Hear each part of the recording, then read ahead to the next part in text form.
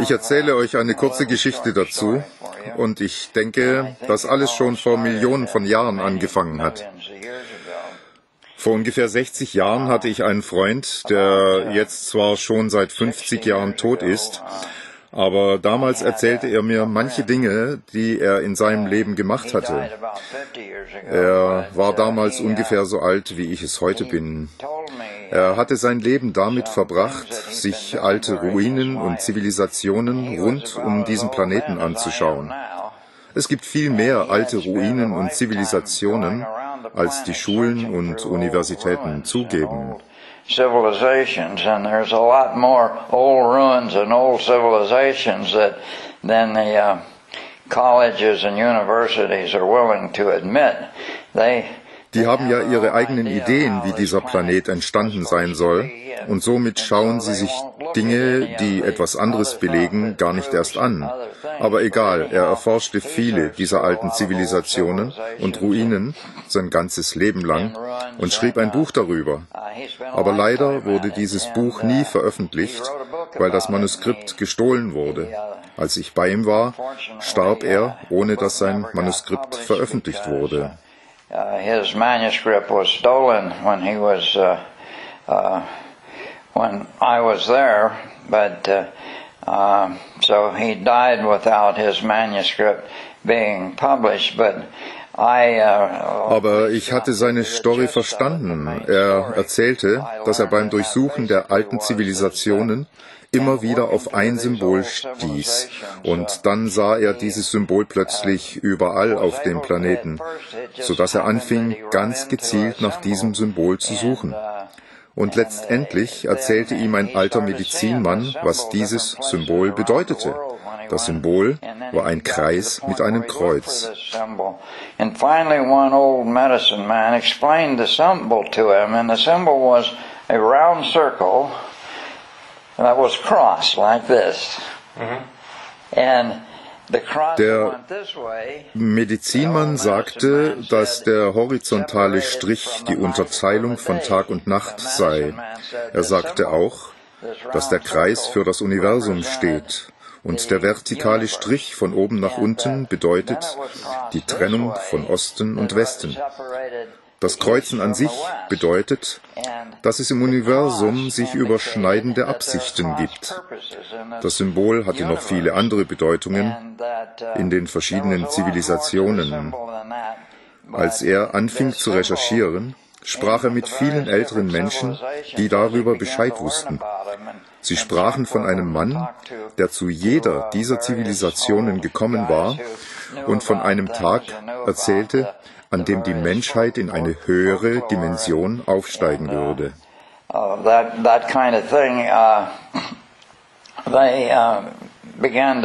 He began to get a picture of uh, some kind of a, a man who came to each one of these, these civilizations. And they told a story of some day that uh, mankind was going to go to a higher level than he was at now. Sie würden besser werden, als sie es jetzt waren. Das sollte der Anfang des dritten Millenniums sein. Und da sind wir genau jetzt, am Anfang des dritten Millenniums. Er erzählte darüber eine ganze Weile, als ich bei ihm war, und während ich mit ihm sprach, sah ich Bilder in meinem Geist von einer alten Zeit, und je mehr ich mit ihm sprach, umso mehr Bilder sah ich. Die Erinnerungen wurden immer deutlicher. For quite some time, so I was with him for quite some time, and uh, as I was uh, talking to him, I started getting pictures in my mind of uh, of an ancient time, and the more I talked to him, and the more I remembered, the more I I realized where this these pictures were coming from and then I started getting the whole picture and I think that the most Die meisten Erinnerungen hatte ich an eine Zeit in der Andromeda Galaxie. Eine ganze Menge von uns lebten auf einem Planeten, der Planet der Götter genannt wurde. Es gab verschiedene Zivilisationen in der Andromeda-Galaxie und es gab Kriege und viele andere Probleme. Aber diese Zivilisationen hatten nicht viel mit dem Planet der Götter zu tun, weil die Götter waren ganz anders als sie. Und das waren wir.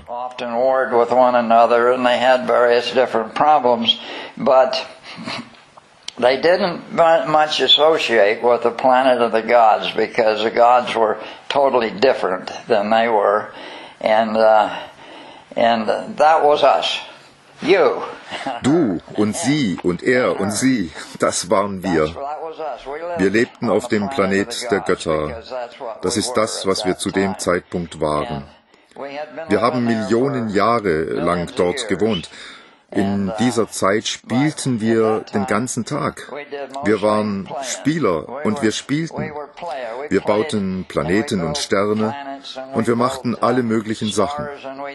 Wir gehörten zum Planet der Götter. Und nach Millionen von Jahren kam jemand auf die Idee, dass wir etwas Sinnvolleres tun sollten für das Universum, als immer nur zu spielen.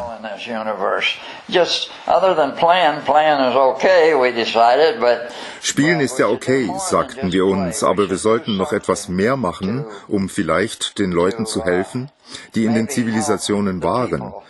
Wir waren uns alle einig, dass wir etwas mehr tun sollten. Aber wir waren uns nicht wirklich einig, was genau. Es gab immer wieder Dinge, die wir zuerst noch tun wollten, und so kamen wir nie wirklich dazu, es zu tun. Wir hatten ja noch so viele andere Projekte, die wir erst noch beenden wollten.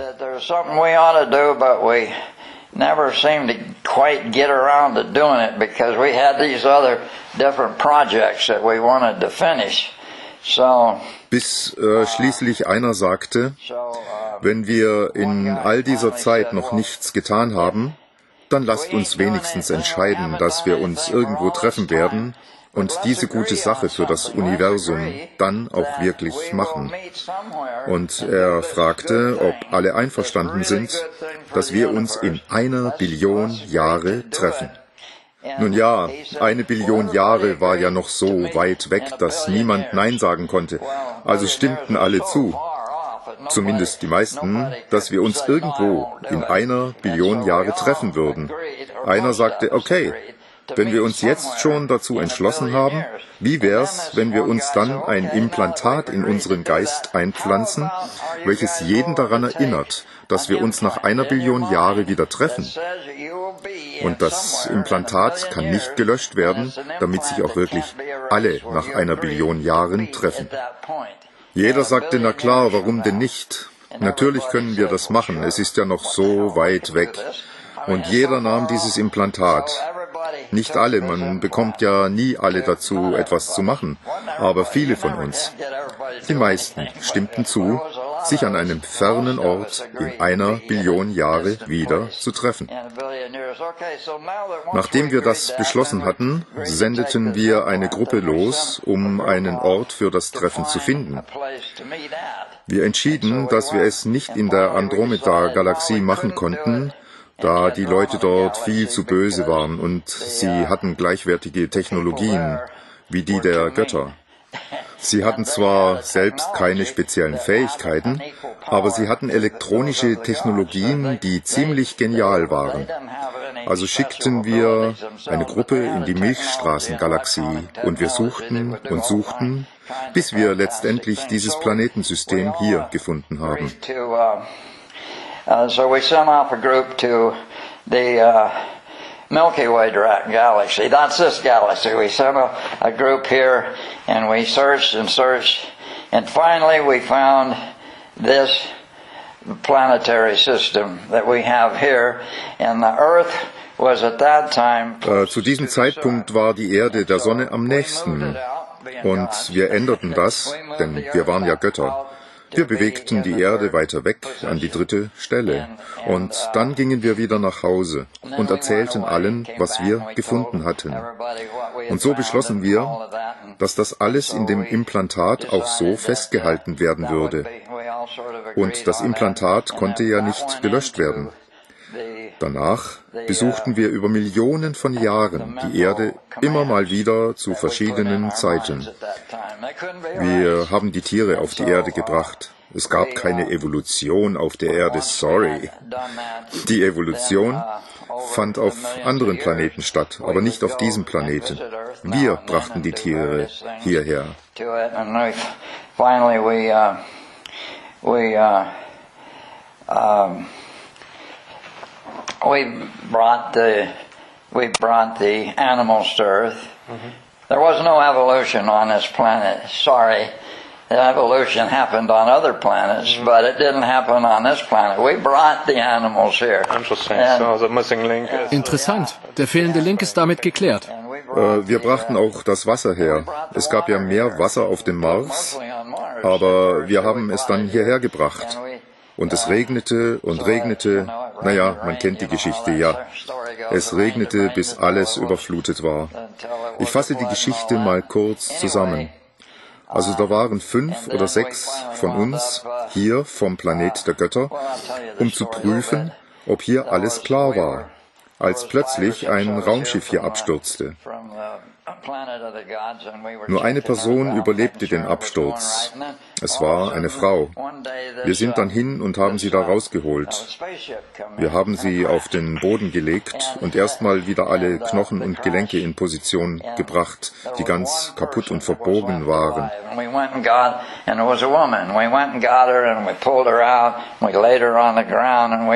we straightened her bones out and all the things that were smashed all up. And you got her name? Nobody got her name? Kennst du ihren Namen? Niemand kennt ihren Namen? Wie war wohl ihr Name? Eva.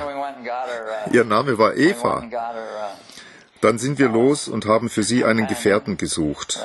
Das war Adam natürlich. Und so hat alles angefangen, genau so. Und dann vergingen viele Millionen Jahre. Es gab da ein sehr großes Gebiet in dieser Galaxie mit 55 Planeten. Und in dieser Zivilisation gab es einen Mann mit dem Namen Manzanora. Manzanora war der Typ, der diese große Zivilisation anführte. 55 planets that was part of a civilization Uh, and I'm talking this huge area, not just a little area, but the huge area of this um, uh, galaxy. There was 55 planets that was part of a uh, uh civilization. And this civilization, uh, there was a man named uh, Manzanara. And Manzanara was a the guy who was running this huge uh, civilization. Uh, Eines Tages hat er einen der Gefangenen gefoltert. Also er hat ihn nicht selbst gefoltert, sondern er hat ihn von seinen Wissenschaftlern foltern lassen. Und dabei haben sie vom Billionen-Jahre-Implantat erfahren. Sie fanden alles über das Implantat heraus. Und Manzanora sagte, das müssen wir stoppen. Wir müssen einen Weg finden, um das aufzuhalten, und er setzte einen Wissenschaftler daran. Der Wissenschaftler hatte die Idee, dass sie einfach jedem in der Zivilisation ein Implantat einsetzen könnten, dass der Planet Erde zerstört werden sollte. Damit, wenn wir hier eintreffen würden, eigentlich waren da gar nicht so viele von uns, circa eine Million, jedenfalls sollte dann der Planet Erde schon zerstört sein. Und er hatte die Idee, dass Russland Amerika zerstört oder Amerika Russland. When, when the people started to, when the uh, people started to arrive here, when all of us started arriving, and there wasn't a whole lot of us. There was only about a million of us, or just a little bit less than a million. And and so when we were supposed to arrive here, he got this idea of how to destroy the planet, and that was, of course, Russia destroying America. Äh, die Idee war jedenfalls, den gesamten Planeten zu zerstören, sobald wir alle hier ankamen, damit dann unser göttlicher Plan nicht umgesetzt werden konnte. Da gibt es noch viele andere Dinge, aber ich kann euch jetzt nicht die gesamte Geschichte erzählen. Wir haben zu wenig Zeit. Aber wie auch immer, zu dieser Zeit wurde jedem auf dem Planeten die Idee implantiert, dass wir Kriege haben werden. Und er fand Wege, es umzusetzen. Er manipulierte Hitler. Hitler hatte das Implantat, Stalin hatte es, jeder, auch du und ich. Wir alle hatten das Implantat. Wir alle mussten in dieser Zeit unseren Job machen. Nun ja, davor wurde die Erde ja auch schon fünfmal zerstört.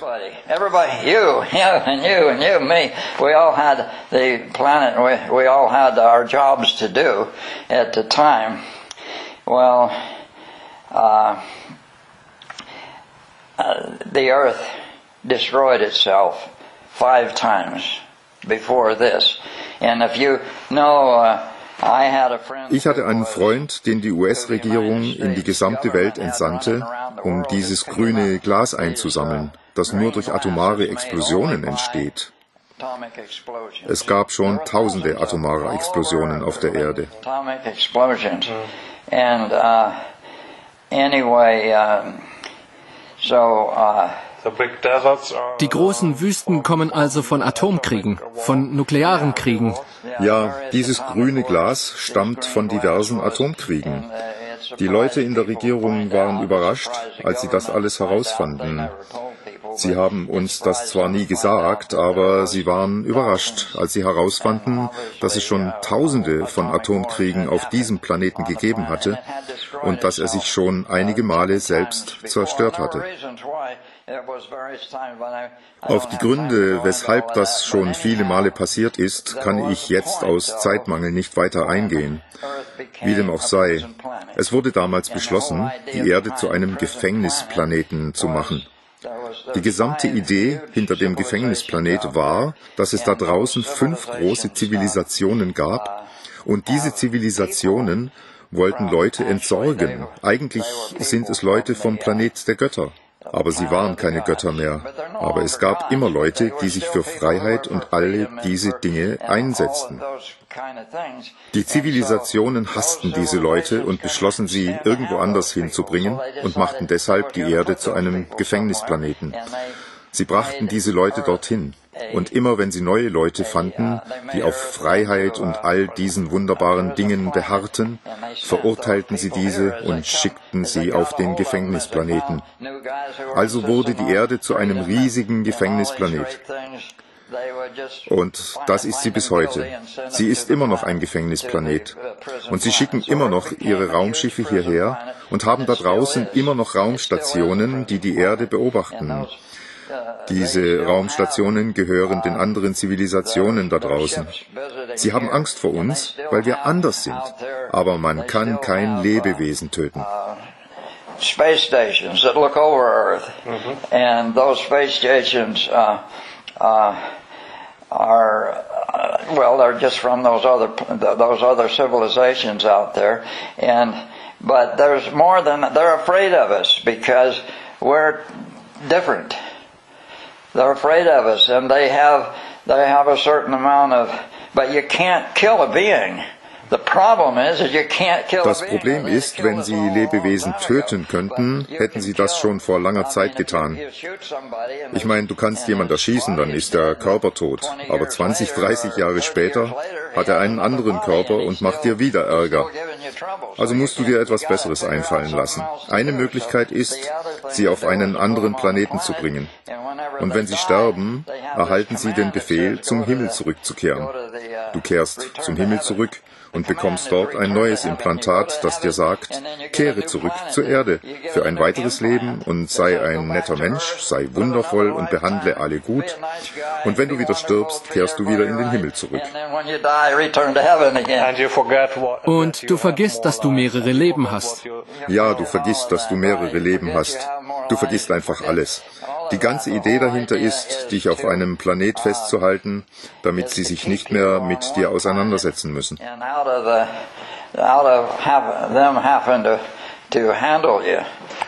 Also Jim, wie sind unsere Aussichten und wie kommen wir da wieder raus? Können wir uns erinnern, wer wir sind? Können wir dieses Spiel verändern? Ich weiß nicht. Ich weiß nicht, wie viele Erinnerungen noch vorhanden sind. Ich denke, ein paar von uns haben noch Erinnerungen an die Vergangenheit. Aber ich bin mir nicht sicher, ob das unser Spiel ist. Das Spiel des Universums ist es, immer wieder ein neues Leben zu leben und immer das Beste draus zu machen. Und natürlich musst du Dinge wie Spiritualität und Integrität lernen, weil das Spiel nur positiv läuft, solange du echte Integrität zeigst. Und so lernst du all diese Dinge. Die Idee dahinter ist nichts Besonderes. Ich hasse es, euch das sagen zu müssen, weil jeder denkt, dass es einen Mordsgrund hinter all dem gibt, aber es ist nur ein Spiel. Es ist nur ein Spiel. Wir spielen ein Spiel und es gibt da bestimmte Dinge, die du in jedem Leben lernst, wenn du schlau bist. Du lernst das Spiel mit Integrität zu spielen. Und wenn du Integrität nicht lernst, dann erfährst du, was Karma ist. And we're playing a game, and uh,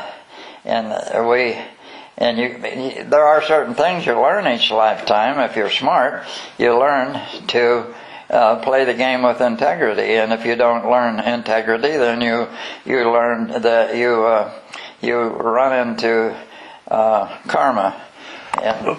Aber das Hauptsächliche für mich ist, dass wir vergessen haben, wer wir wirklich sind. Wir sind Schöpfer oder besser gesagt Götter mit Schöpferkraft, die Spiele spielen, uns aber darüber nicht bewusst sind. Aber wenn wir uns dessen bewusst werden, können wir wahrscheinlich das gesamte Spiel verändern.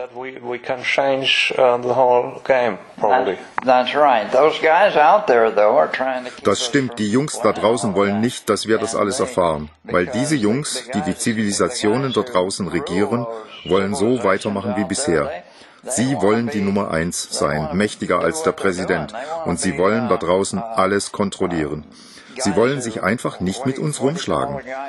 Also haben sie uns auf einen Planeten verbannt, wo wir nichts von all dem jemals erfahren.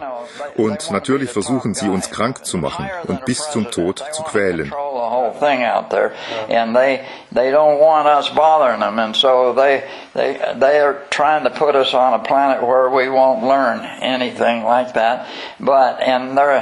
And of course, they, they try to keep us sick and dying and all of those various things. But the And the whole thing is, is that if they kill us, then they I don't think ich denke nicht, dass sie uns sofort töten wollen.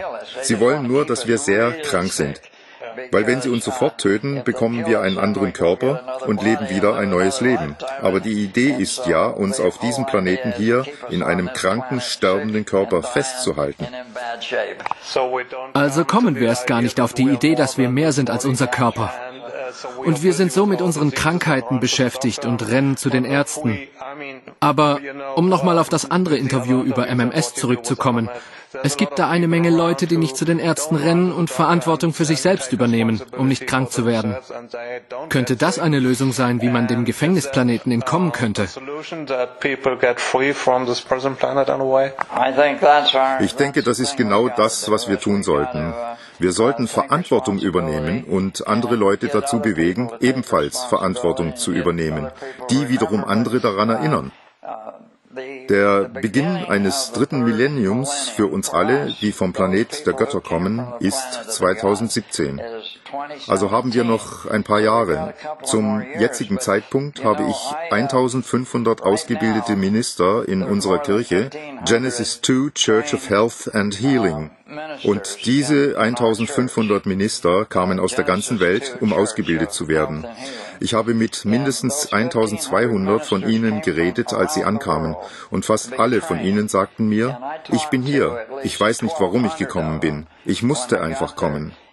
Sie alle mögen MMS und glauben an MMS und sie alle sagten, ich kam, weil ich kommen musste. I don't know why I come, I just had to come. Now, they all liked MMS. They all believed in MMS. But they all said, I came because I had to come. Vielleicht erinnern Sie sich, wer Sie sind. Ja, Sie haben sich ein Stück weit erinnert. Und einige von Ihnen haben sich an die ganze Geschichte erinnert. Sie haben mir davon erzählt, als Sie ankamen. Nicht alle erinnern sich, aber einige. Ich fragte ins Publikum, wer von euch glaubt an die Geschichte? Und alle haben die Hand gehoben. Und sie sagten, ich glaube, dass ich vor einer Billion Jahre auf dem Planet der Götter gelebt habe. Fast alle von diesen 1500 Leuten glauben daran. Diese Leute wachen auf. Bis 2017 werden die meisten dieser Millionen Menschen aufwachen. Und ich denke, dass alle uns helfen werden, das zu tun, was Angie tut. Wir werden Leute behandeln und die richtigen Dinge tun. And I think that they're all going to help us do what Angie's doing and doing, you know, what uh, we're going to be treating people and we're going to be be uh, Uh, und wenn die Leute sehen, dass wir richtig behandeln und die richtigen Dinge tun, werden sie das auch machen wollen. Und alle werden dann dazugehören wollen. Und so werden wir immer mehr. Es werden nicht Millionen sein, sondern hunderte Millionen Menschen werden dabei sein. Wir werden gute Dinge für die Welt tun, statt schlechter Dinge, so wie die Dunkelmächte. Es gibt sowieso nur ganz wenige Bad Guys. Ein paar Familien, so um die 30 Familien, denen noch viele Idioten folgen. Aber selbst die Idioten werden irgendwann sagen, hey, diese Leute da machen gute Sachen, wir wollen das auch. Deshalb müssen wir einfach nur Vorbilder für die Welt sein. Genau das werden wir sein. Wir sind es ja eh schon. Und so wird es immer mehr Menschen geben, die aufwachen und aufhören, das Falsche zu tun. Dann wird es immer mehr Menschen geben, die das tun, was wir jetzt schon tun. Uh, as more of us come in and start waking up and quit quit taking the, the junk then there'll be more of us doing what we're doing. Ist das Manuskript, von dem du gesprochen hast, für immer verloren? Oder schreibst du alles auf, was er dir gesagt hat? Gibt es Fragmente davon? Ich meine, da gibt es noch so viele Fragen. Wir wollen wissen, wer sind diese Aliens? Gibt es verschiedene Rassen? Wer besucht uns? Wer ist gut und wer ist böse? Ist da noch mehr Wissen, das du veröffentlichst?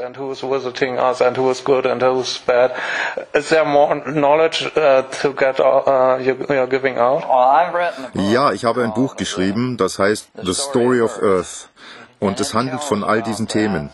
Aber es geht nicht so sehr um Aliens. Ich weiß gar nicht so viel über all die verschiedenen Aliens. Ich erinnere mich an eine Zeit, als ich in der Nähe von Area 51 lebte. Ich lebte ziemlich nah dran und beobachtete immer die Raumschiffe, die da rumflogen. I lived out near, uh, you know, you know about area uh, 51, right? Well, I lived right near there, and uh, I used to see the uh, the Uh, Zum Glück kommen heute auch viele Dinge ans Licht. Auf YouTube gibt es viele Videos über Aliens und so weiter, aber das ist ja gar nicht dein Thema. Das Wichtigste für mich ist, dass wir uns daran erinnern, dass wir viel mehr sind, als wir denken. Und diese Erinnerung wird uns helfen, uns aus diesem Gefängnis zu befreien.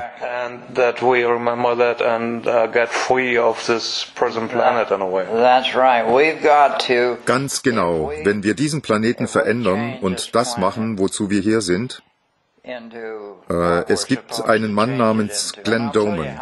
Er hat versucht, einen Gehirnschaden bei Kindern rückgängig zu machen.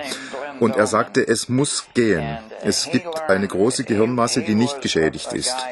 Also fing er an, mit diesen Kindern zu arbeiten.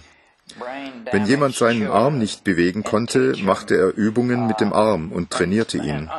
Seine Frau half ihm dabei.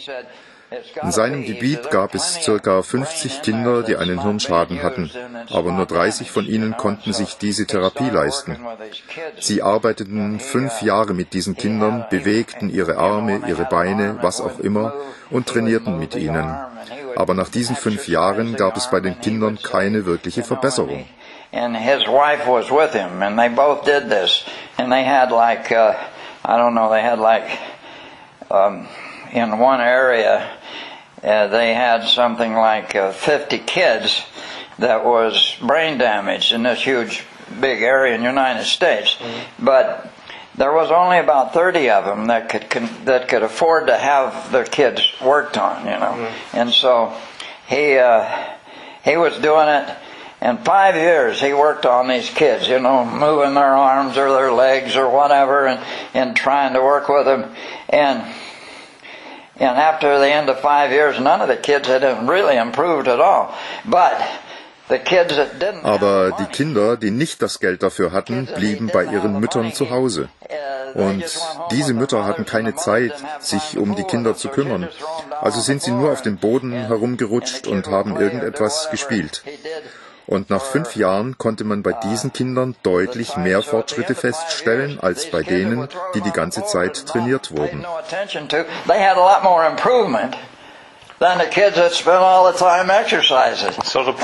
Also, was willst du uns genau damit sagen? Dass wir spielen sollen?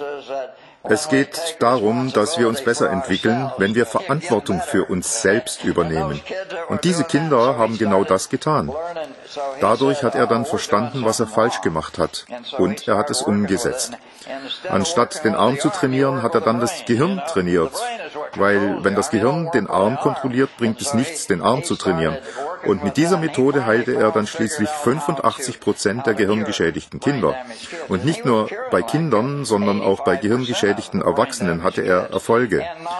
Dann fingen sie an, mit seiner Methode Kinder im Alter von null Jahren zu trainieren, gleich nach der Geburt. And then he learned to educate them. And he started educating babies at zero. In other words, they're born, they bring them out, and he says, "This is your mother," you know, and he starts educating them from zero. Und er fand heraus, wie man Kinder am besten unterrichtet. Mit drei Jahren sprechen sie sechs Sprachen. Sie können Mathematik und alles Mögliche. Wenn die Kinder gleich nach der Geburt richtig unterrichtet werden, haben sie einen IQ von 200 statt 100. Bei einem IQ von 200 sind sie dann aber nicht doppelt so intelligent, sondern zehnmal so intelligent. Er hat also gemerkt, dass dabei viel intelligentere Menschen herauskommen. Außerdem konnte er ihnen Integrität beibringen und viele andere Sachen, die du einem sechsjährigen Kind nicht mehr beibringen kannst. Wenn du erst mit sechs Jahren anfängst, mit ihnen zu arbeiten, wissen sie schon alles über den Nikolaus, Bugs Bunny und Co.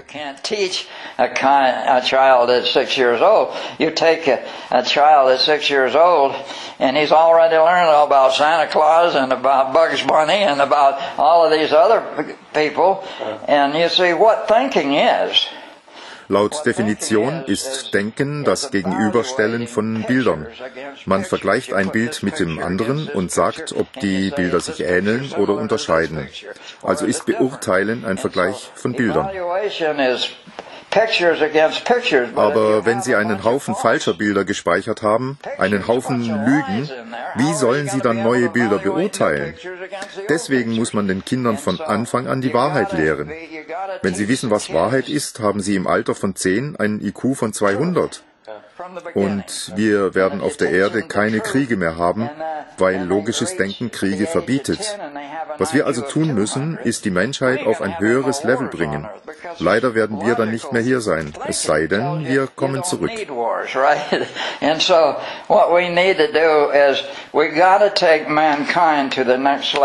And unfortunately, we ain't going to be here when it gets to the next level, except We'll be back, right?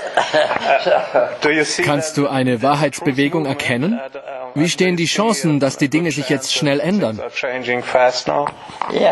Ja, die Dinge verändern sich jetzt viel schneller. Aber bevor ich sterbe, bevor wir alle sterben, müssen wir Mütter dazu bringen, ihre Kinder von Geburt an zu unterrichten. Wir haben schon geplant, Mütter zu bezahlen, um zu Hause zu bleiben und ihre Kinder zu unterrichten. Und wenn wir es schaffen, dass 10% der Menschheit oder 5% der Menschheit einen IQ von 200 hat und Integrität besitzen, dann werden wir keine Kriege mehr haben. Das garantiere ich euch. Up to an IQ of 200 with integrity.